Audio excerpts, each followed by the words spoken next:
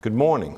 My name is John Patrick Picard. I'm an architect here in Massillon and I graduated at Kent State University. Um, I was going to tell you where I grew up, but I'm going to hold that now because I have an audience and you need to figure that out. It will come out pretty quickly for you all, I think. So, um, I teach at Kent State University occasionally, and one of my students actually guessed the name of the town I grew up in. So it must be pretty apparent eventually. So, but I've been away from New England for about 35 years, so um, it's gone.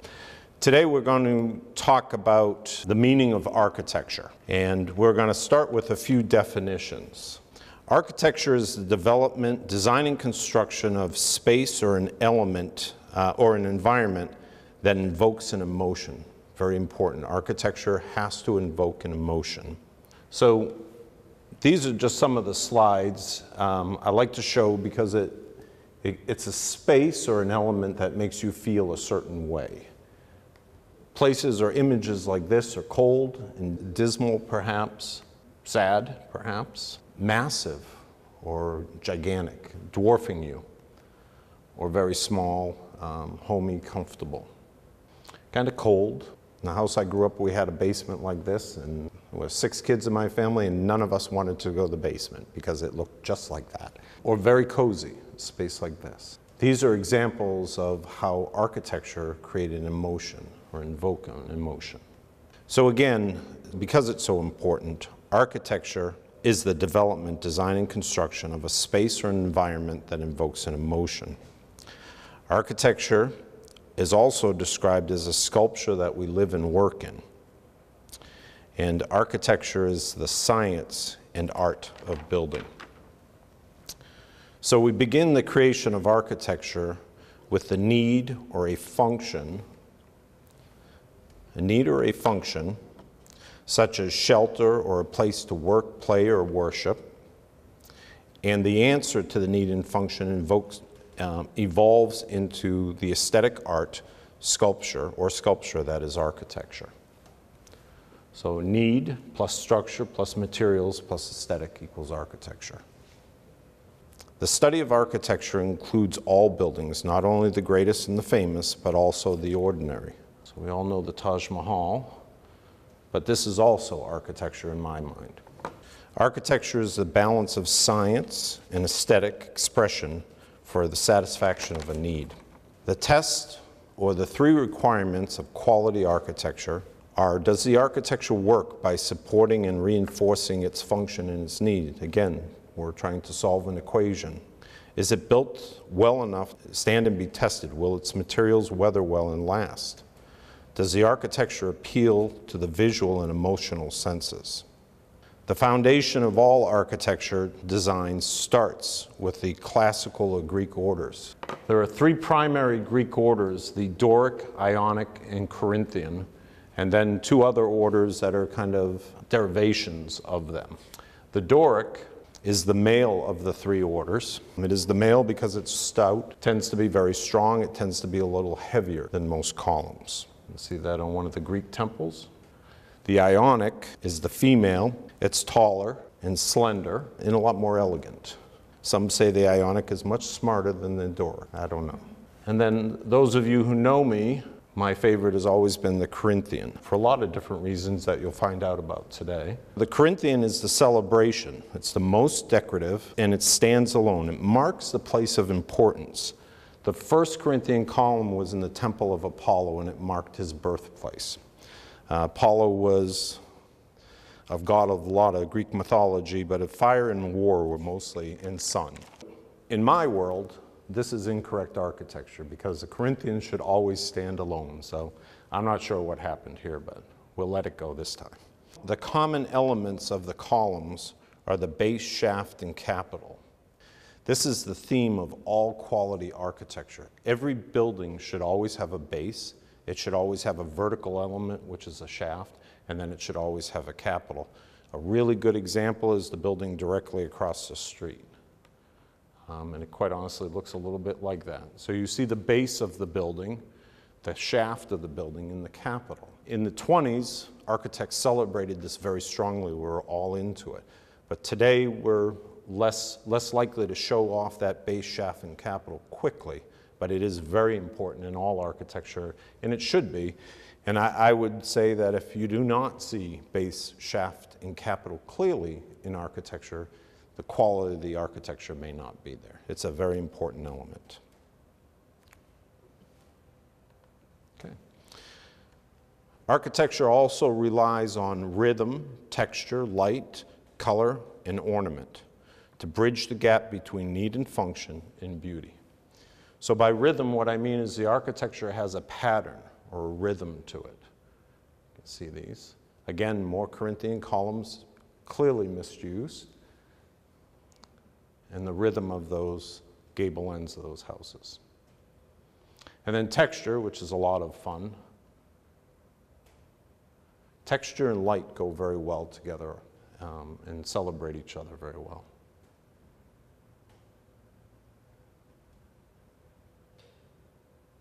And then light, probably our most important, uh, changes color. Light changes color on everything it hits.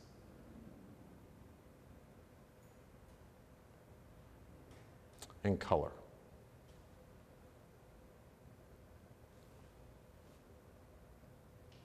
And then finally, ornament. And these, these are applied features, and most of our architecture today has applied ornament.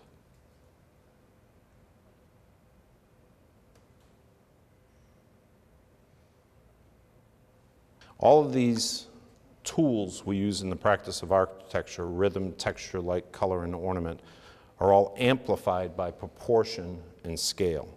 And proportions to us as architects is a system of knowing how large an element should be. How large should a window be? How large should the base of that building be? We apply it all to the human form. So we have a lot of different proportioning systems that we use to, to determine those sizes.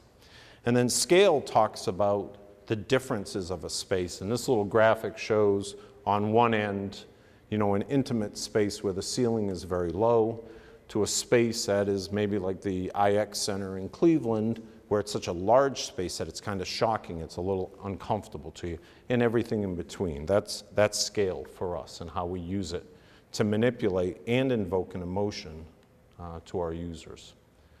And items like this, where they're deliberately brought out of scale to be very, very large.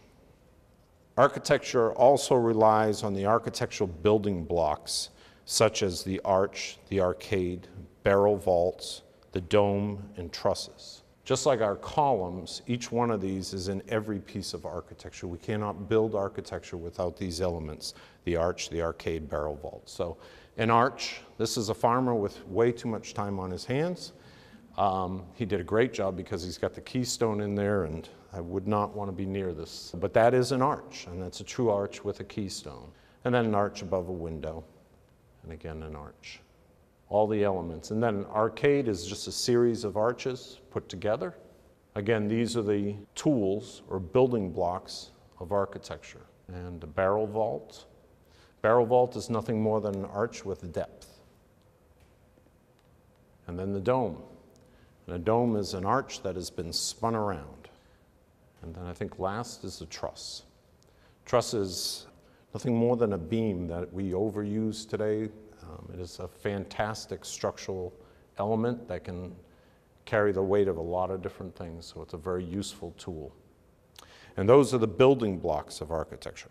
The, ar the environment, um, environmental conditions of our world also help shape architecture. Environmental conditions such as wind, um, sun, wind, rain, snow, heat, and cold. All of these things we have to apply um, into our architecture. And for me, the use of light and how we deal with rain um, and snow also adds to the emotion that we create with our buildings. So sun is obviously an important one. These poor souls are out in this rain. Uh, snow, um, wonderful, also my nemesis because it's heavy. And the sun. I'd like to slow down on this slide for a minute because the sun is the most underutilized architectural element we have in our environment. Uh, for some reason, um, we don't, as architects, we don't always pick up on the sun and realize this is such an important architectural feature. Um, the one thing that I tell my students, and most of them unfortunately don't know this, and I think they should, is that the sun rises in the east and it sets in the west. Be surprised how many don't know that. And in the winter, the sun is very low on the horizon and very high in the summer. So to bring a lot of light into your house, into your office building, whatever it is, you put all your windows facing the south and southeast, and you bring all that morning sun in, especially in the winter. In the summer months, when we got to try to cool all these buildings, you protect the building from that high sun. Um, but in Northeast Ohio, there aren't that many days when we don't want to bring all this sun into our environment. So um, we need to spend our time and um, look at utilizing the sun more in the practice of architecture. And then the last kind of tool or element in architecture is space. And this is, this is a little bit abstract, but it's a concept that built environments make you feel different ways. As an example, this figure on the, on the left is um, out amongst trees and it has a certain feeling. And then, but if you're in kind of an area well, not such a great feeling.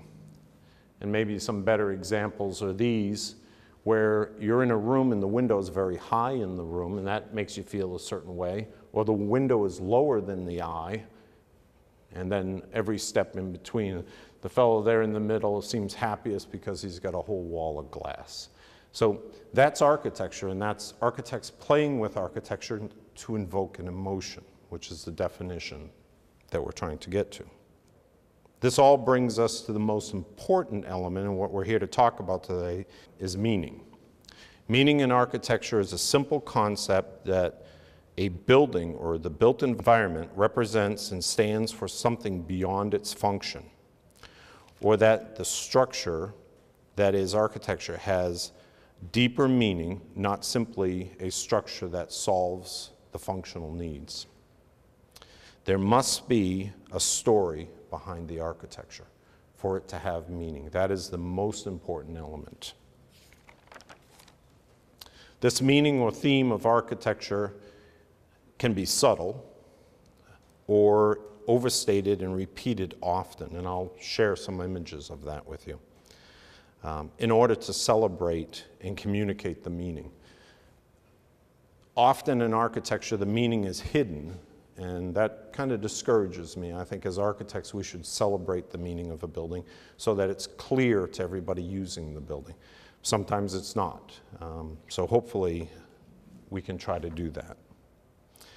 So meaning, meaning in architecture is true timeless architecture. We use the words timeless architecture when we think about materials.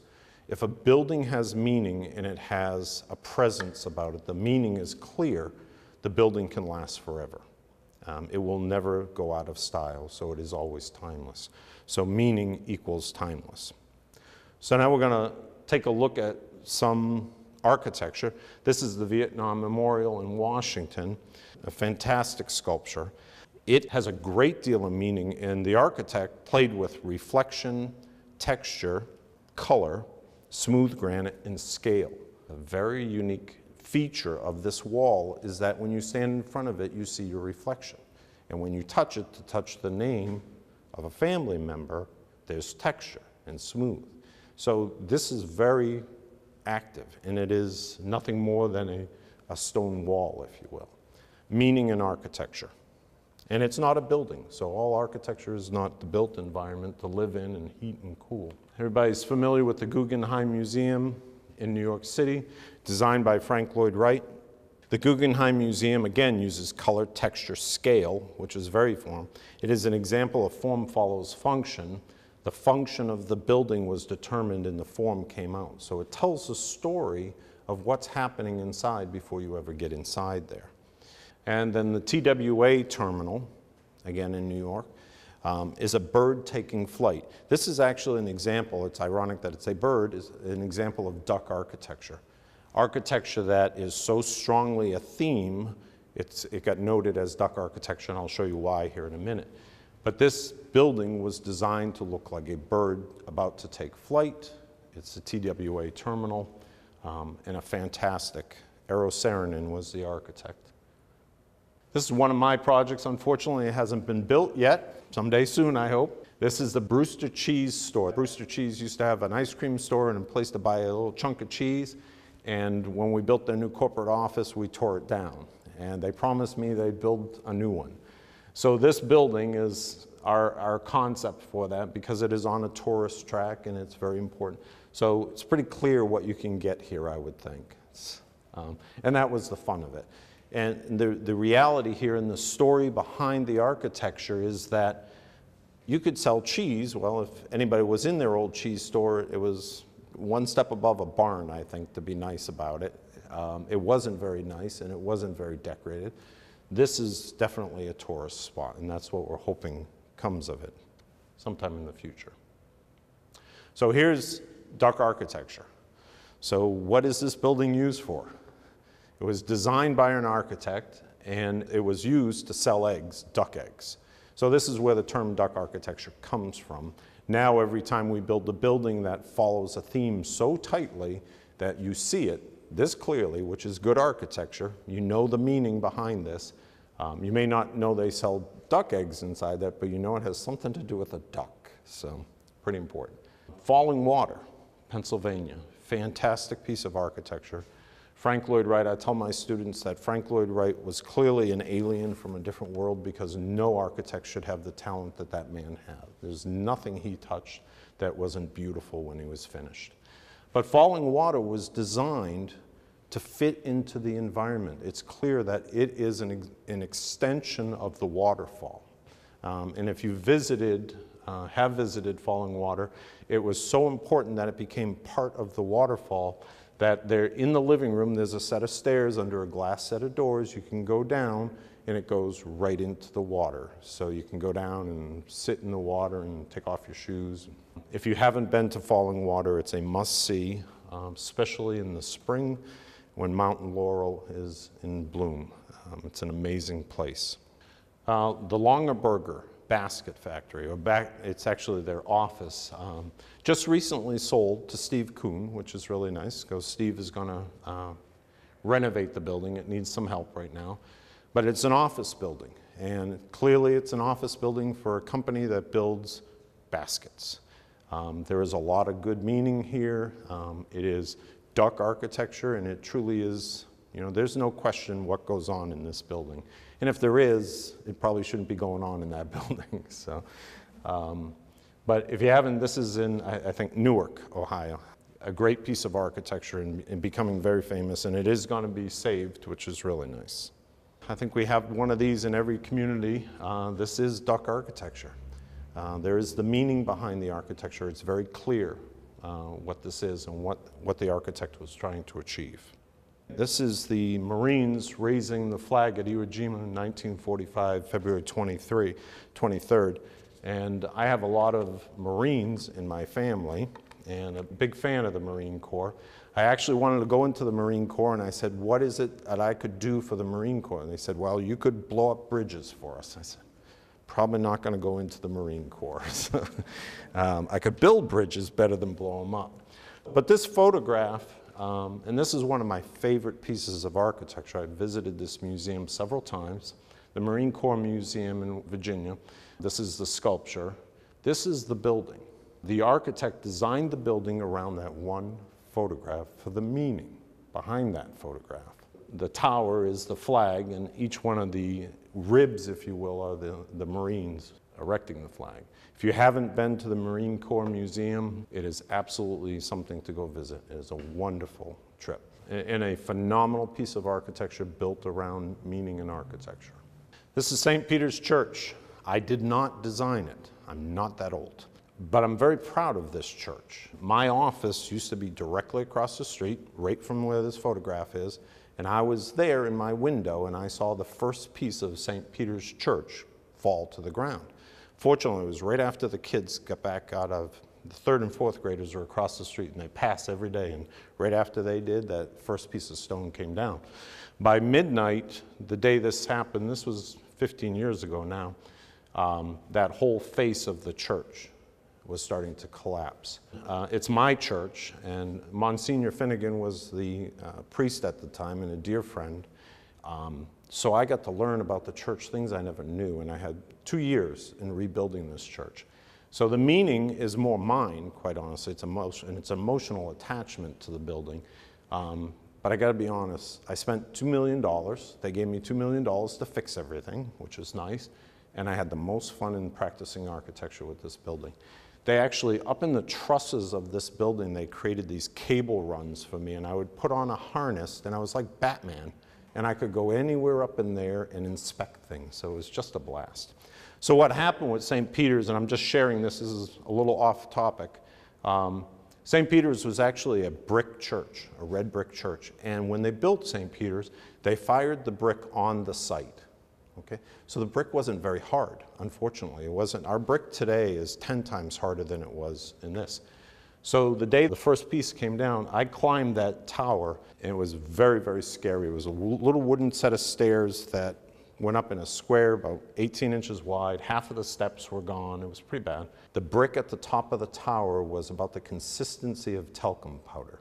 You could reach your hand into the wall and it would be all over you. You could just, it was an amazing thing. So in the 40s, when this happened, when they realized something's going wrong with our church, it's falling apart, they tarped the entire church. They brought in uh, craftsmen from Germany and they parged, it's called parged, they put the cement coating over the entire church, and then they carved in rocks, okay? And everybody thought it was a stone church. They unveiled it, they said, oh, they put stone on it. They did not put stone in it, they just put this, if you will, candy coating on the church. Such an amazing project. When we went to rebuild it, we had to tear it down. St. Peter is kind of in the middle there just below that circle. And you can see, Saint, unfortunately, St. Peter lost his head when the church collapsed, but it was on the ground and it was fine. So we were able to put his head back on. But you can see how far we had to deconstruct the church. When we got down to this point, you could actually reach into the wall, which is about four feet thick, and the brick was like mud. So the guys were picking it up and they'd make balls out of it and it would harden. They'd leave them out to harden and they'd kind of turn back into bricks pretty soft. So a major, major project. And that's us rebuilding it. And that's what St. Peter's looks like today. The fun part of this project is we had to recreate the stone look somehow. And no one was there. The, the entire church was tarp, so nobody knew how the Masons from Germany did what they did. Um, so we went to a place in Texas to try to find someone who could do this, so sculptors. And we actually made the rest of the tower, we had blocks made opposed to a, a coating in the same shape. And they sent up a load of them, you know, maybe 500 of these, and they looked terrible. And it's like, this isn't going to work. Sent up some more, they still looked terrible. They just couldn't get them to look. They made rubber molds and everything. They could not get them to look right. So they flew me to, uh, yeah, to Texas to meet with the sculptors, and they were working with all these hand tools, like somebody working with pottery, and seemed perfectly logical to me that this is what you would build it out of. But we couldn't get the shape. And, um, and it dawned on me that it, it was like somebody took a scoop, like a big spoon, and went into the concrete and took a chunk out, okay? And it reminded me, I'm, I'm I'm Italian. I've got a French name that my mom made a mistake and married a French person, but, but I am Italian. My grandmother always had these very large wooden spoons. So I went out to a store and I bought very large wooden spoons, and that's how we created the box, the blocks. You took a spoon and you had this pile of concrete and you just scooped it out, and it was like perfect. And then we just started making blocks, and three or 4,000 blocks later, we put it all back together. Um, unfortunately, and um, for the future of St. Peter's, it's, the church is still rotting from the inside. Gravity keeps it together. This parge coat is extremely strong. We had to take sledgehammers to get it off, to take it off. So when the, the masons from Germany put it on, they knew exactly what they were doing. They were creating something more structural. But just a phenomenal project and a beautiful church if you ever have an opportunity to see St. Peter's. This is polymer packaging down on Navarre Road. This is one of our projects we did probably 10, 15 years ago. Polymer Packaging is a very unique company. Larry Liam owns the company, and he invented a process using plastics. And he runs these plastics about 80 feet in the air, and then he drops them with heat, and they hit these rollers, and they go through all these rollers, and by the time they get to the ground, it's a bag, a plastic bag. I have no idea how it works, but it does. It follows this roller thing. So Larry asked me to design his corporate headquarters. I had to learn about what he did because I wanted the building to have meaning. That's where the shape of this building came up. It's the plastic, the shiny plastic rolling over these rollers. So there's the meaning of the architecture. The funny story behind the story is I presented this design to Larry and I, from a plan view first, and he goes, How did you know? I go, How did I know what? He goes, How do you know? How did you know I play a piano? Said, I didn't. the plan of this building looks like a grand piano. So that's what he got. So I, I, took it and ran. I told him the real reason for its shape, but he was happy on both sides that we, we represented what he does for a living and the inventions he's created and his piano.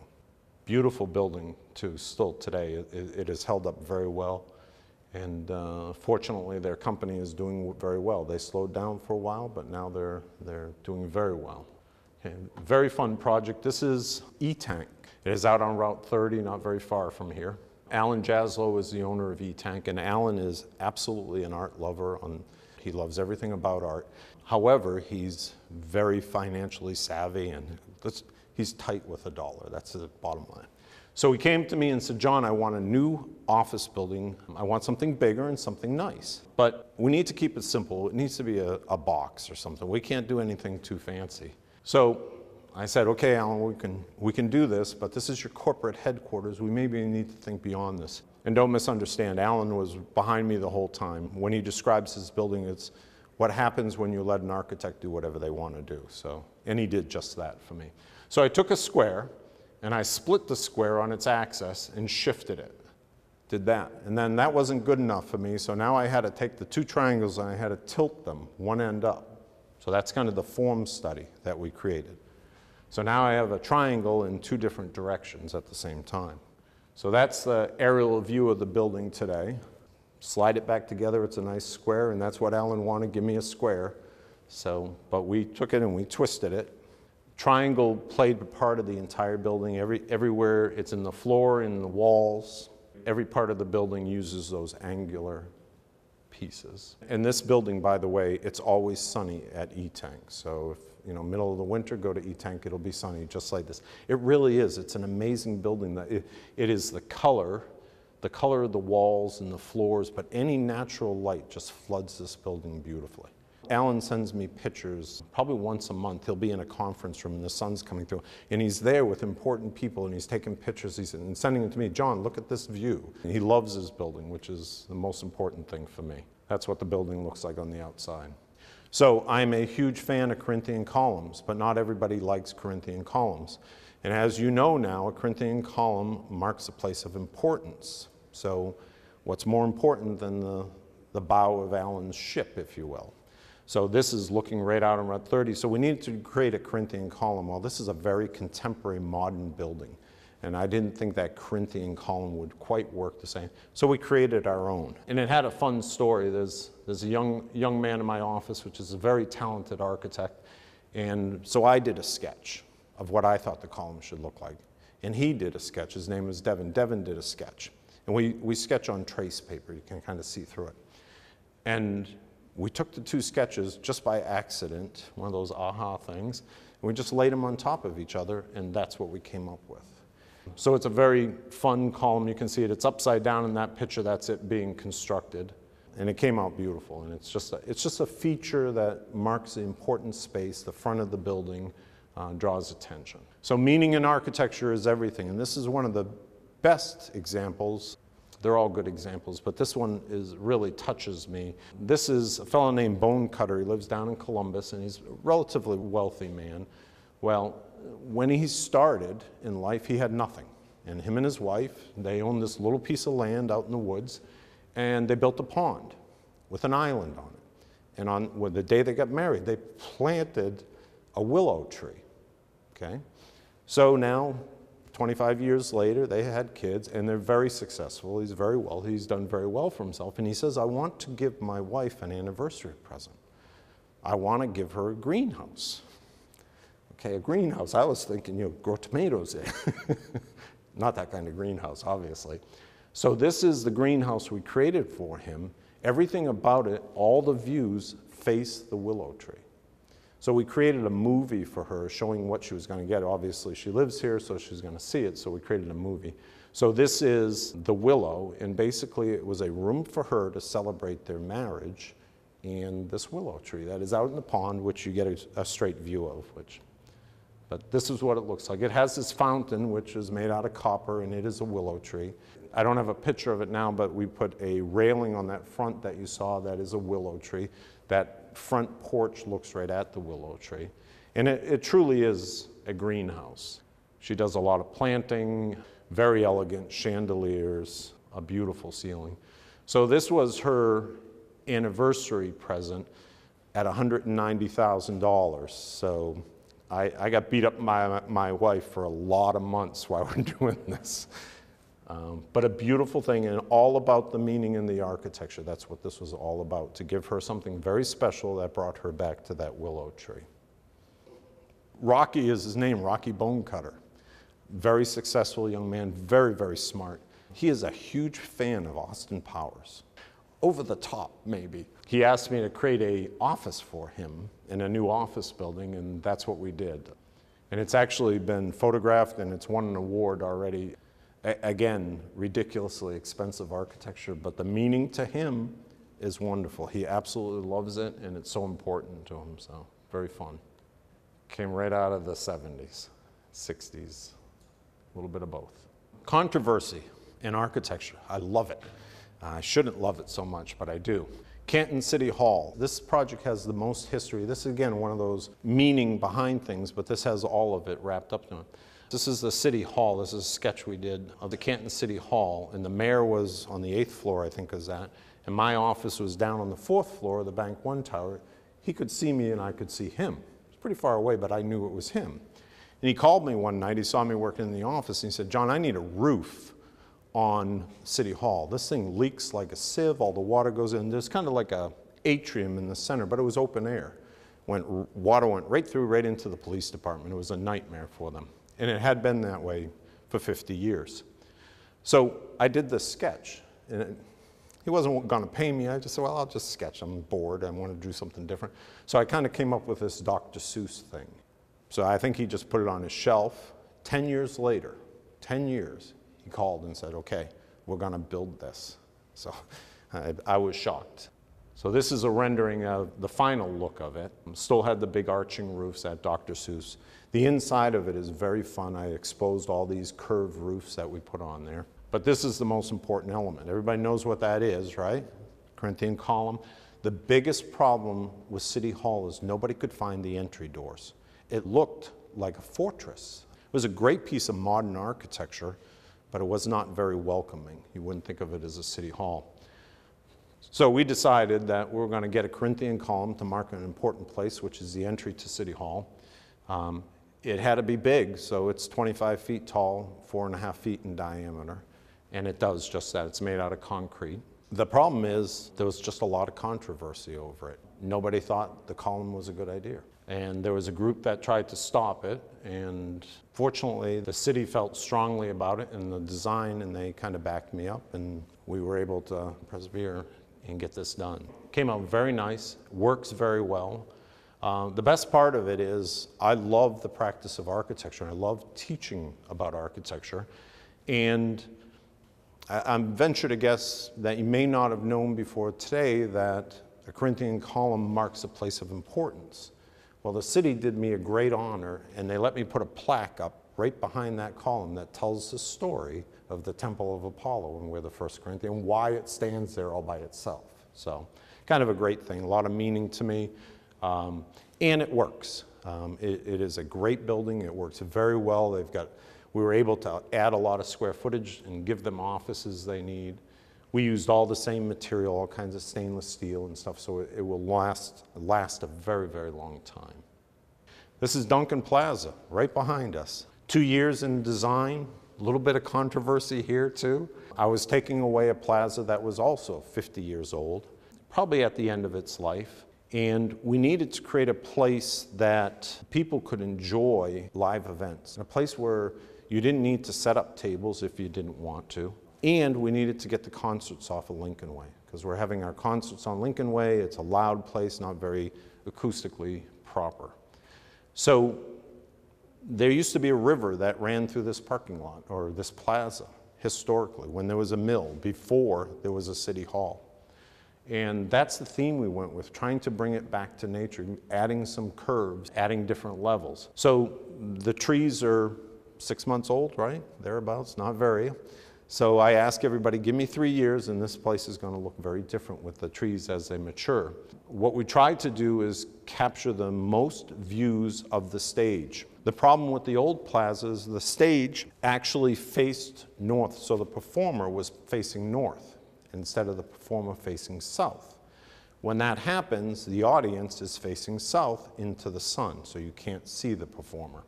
So we had to flip it all over, and I think that was the biggest hurdle we had. When we presented that, it was like, oh, no, you can't do that. Fortunately, we were able to do it, and it does work as a great uh, performance space. We can seat, you know, we were actually going for about 1,500. At the first concert, we had about 3,000. Everybody was comfortable. All the walls you see were designed as seat walls. They were designed for sitting on. That took a little while too to get everybody to sit on the walls. They weren't quite used to it. Um, and then inside the planters, we created these walks, accessible routes with picnic tables up there. So there's just a lot of different seating opportunities. I, think a very successful project, and I'm very proud of it, so I share it for that reason. This is the First North building. This is Robert or Bob Gessner's I want to say it's his dream, and I think it's a very important piece of architecture for different reasons that maybe not everybody knows about. First of all, Bob's brother, Rich, I had to think about his first name, is an architect. He's an architect in Washington, D.C. Bob's theme for this project is he wanted it to be an example of a piece of architecture from the Industrial Revolution. Early 1900s, we were building factories, we didn't have good lighting systems, so we put in big expanses of glass to light the factories. Bob wanted to represent that. He wanted that piece of history back for Massillon. That's what the building was designed around. So Rich and I got together and we created this form that, quite honestly, we've had actual people come to it thinking that the building is 90 years old. Wow, it's in really good shape for its age. It's not that old, it's only about six years old now. So that's where the design came from. And then they're not here, but you can kind of see the, the brackets up at the top. Bob had sculptures made, seven in total, that tell the history of the city of Massillon from the beginning to future.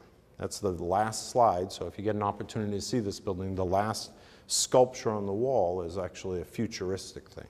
So a lot of meaning in this one. It was trying to reach back and give the city a piece of its history that we've lost. Everything about it was designed to come back to a 1920s, 1930s piece of architecture using kind of contemporary materials. I'm most proud of the doors. Probably Bob is not real proud of the doors. Each one of these doors ran about $8,000, um, but they are beautiful. And uh, my office moved into this building, so it's a labor of love for me. And this is my next to last slide. This is a house on Lake Cable. And the owner came to me and said, I wanted a deck. Well, I just can't just do anything simple, John. It's, so I've known this man for a long time, and he loves electric guitars. He has a collection, and they're beautiful pieces of art in themselves.